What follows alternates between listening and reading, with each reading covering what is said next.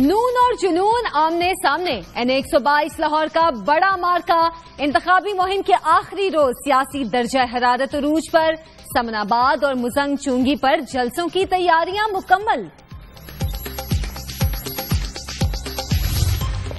PTI उम्मीदवार में जान होती तो इमरान खान को हल्के में आने की ज़रूरत न पड़ती।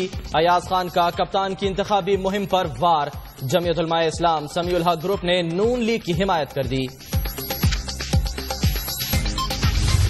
पंजाब हुकूमत के इश्तेहार इंतबी जबता अखलाक की खिलाफ वर्जी है। कार्रवाई की जाए पीटीआई का इलेक्शन कमीशन को खत चौधरी सरवर का हुकूमती मशीनरी के इस्तेमाल का नोटिस लेने का मुतालबा।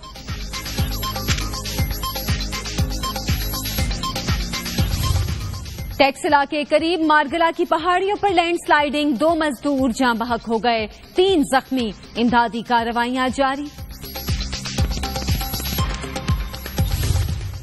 कराची सदर और मंगूपीर से सीटीडी की कार्रवाई। इंस्पेक्टर नासिरुल हसन के कत्ल में मुलविस दो टारगेट किलर्स गिरफ़्तार। गुलशन मेमार से गिरफ़्तार सत्तावन अफराद के टारगेट किलर का नब्बे रोजा रिमांड।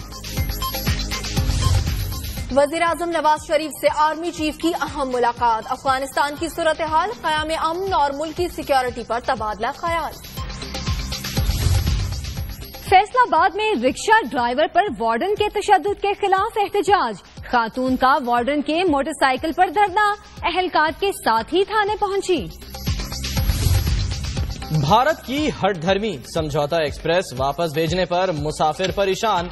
भारत के अपने शहरियों का भी लाहौर रेलवे स्टेशन पर पड़ाव। भारत में इंतहा पसंद हिंदुओं के हाथों मारे गए इखलाक के फ्रिज में बकरे का गोश्त था। फॉरेंसिक रिपोर्ट में सच बेनकाब। मकबूजा कश्मीर असेंबली के बाहर अरकान का एहतजाज पुलिस से हाथापाई।